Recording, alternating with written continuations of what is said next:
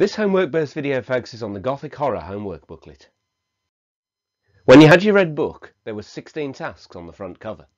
Today, this video is going to focus on helping you with Task 11.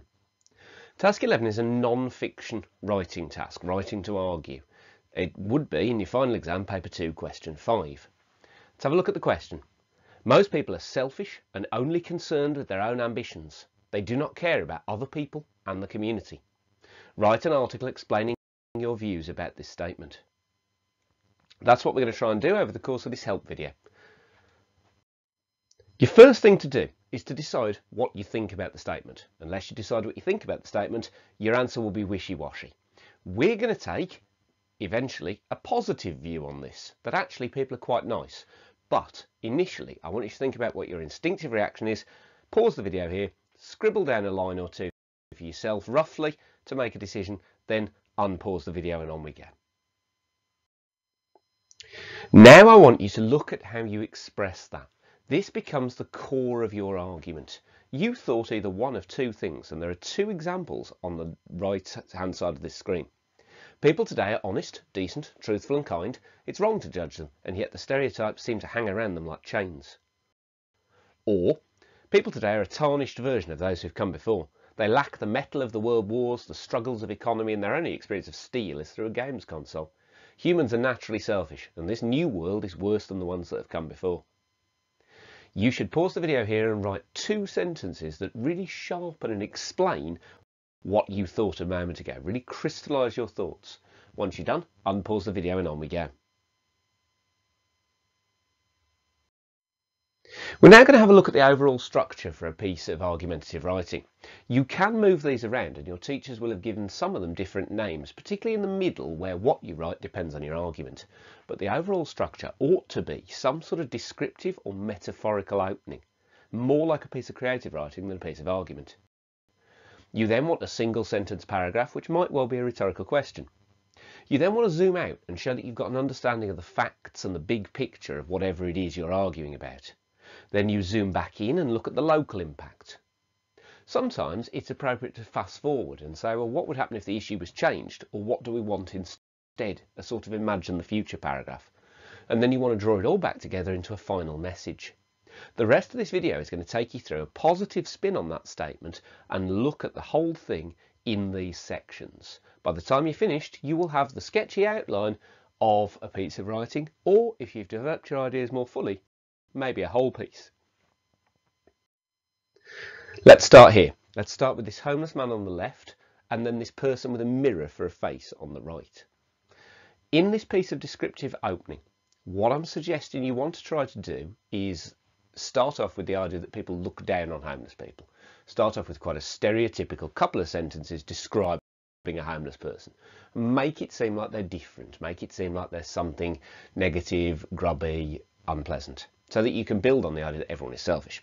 I then want you to flip it and say, well, actually, imagine that that person was you. Imagine that their face was a mirror and you're looking at them and you're seeing yourself. So let's have a look at how that might look with two sentences. I would say you probably want to set it up as a contrasting paragraph where two things happen in the middle. So a sim simple opening line, imagine a homeless person sitting on the street, then three sentences describing the homeless person. Then flip it now, imagine their face was replaced by a mirror and go in as if you're now sympathetic. You're saying it's you. You understand that that's a person. You're describing them in, in a way that makes us feel sympathetic for them. I'm going to put the pictures back on there for a moment. And then, once that's done, we should be able to move forward with the description, pause the video, spend about five minutes developing this up, and then unpause the video to move on.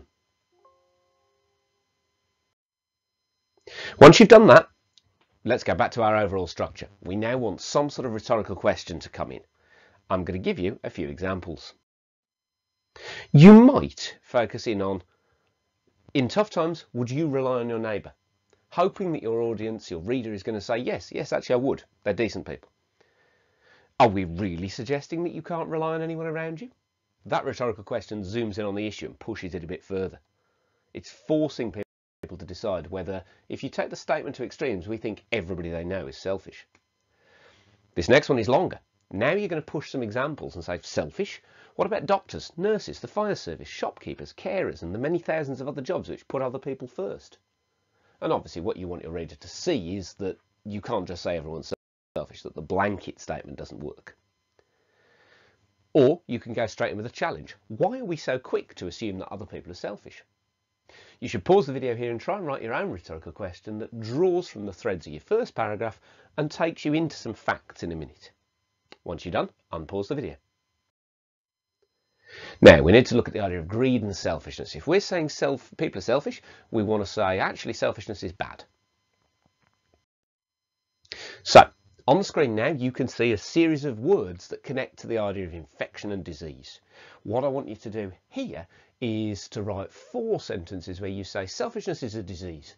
Selfishness is bad. It poisons and taints what it touches. It spreads like a germ, invisible and silent. If one person is selfish, other people catch it. Pause the video here, take four minutes, write something that builds up those four sentences around the metaphor of selfishness is like a disease. Then unpause the video. Now in the structure, we want to be looking at the idea of facts. So I've given you an opening sentence here. People fall into the trap of believing that everyone is selfish. However, in truth, across the country, charity is a powerful force. There are then five statements underneath, all of which are taken from recent charity statistics in the UK. And what they suggest is that actually the charity sector in the UK is doing really well. Pause the video here, try and create your own paragraph, and then once you unpause it, there's a WAGOLL coming up next that you can have a look at and see how that's shaped up. Take about five minutes to do this. Pause the video here and unpause when you're done. Here's the WAGOLL. Let's have a look at it. People fall into the trap of believing that everyone is selfish. However, in truth, across the country, charity is a powerful force. 760,000 people in this country are paid workers in the charity sector. They've chosen to dedicate their lives to helping others. UK charities earn around 39 billion a year, which means that people donate in significant quantities. That's at least £3 per person. Charities are worth more to the economy than the arts or farming. I've then left you a little gap to put some sort of statement in there that says, actually, if all this is true, people aren't selfish. People are good people. 44 million people in this country donate once a month and they give an average of £16. This is not a selfish country. What I've done there with that last sentence is just draw it back to the question, so it's not just a collection of random facts. Compare your WAGOLL to what you wrote, then unpause the video and on we go. It might be worth at some point having a look at the idea that we like bad news. People love bad news. You could use this image to give you some stimulus for that.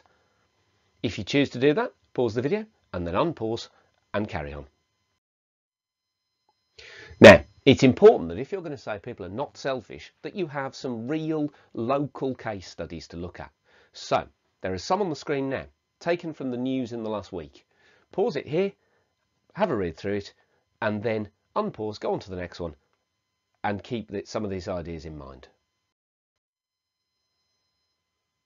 The next one here gives you some more possible case studies. Here are the last two possible case studies that you might use to prove that people are basically decent.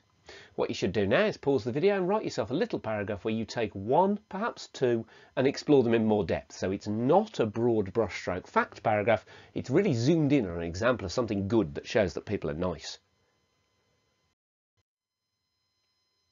A possible opening sentence you might use for that. Good news isn't rare, it's everywhere if you look, even in tough times. I want you to pause the video here, take five minutes and write your local impact paragraph. When you're done, unpause the video. It's worth looking at the idea that actually selfishness is what you make it. So here we're going to look at the idea of a mirror. I've used on the right an example about adventure sports because it's the sort of thing that exams might write about.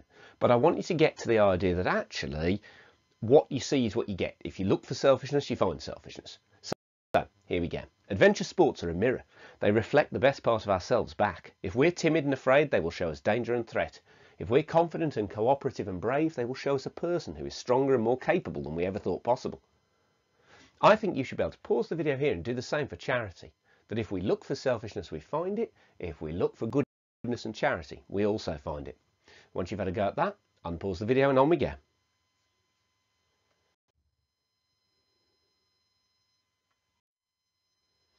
Your final couple of lines should be a message about how selfishness is bad, charity and helping people is good, and we believe that people are decent. So, on the screen you will see the idea of the metaphor of something lifting us, in this case charity or goodness. And you can see a collection of words here that you should use over the next two or three minutes to write yourself a little conclusion to your piece of writing. Pause the video here to write your conclusion, then unpause and you'll reach the end. You should have something that's ready to be a first draft of a decent piece of writing.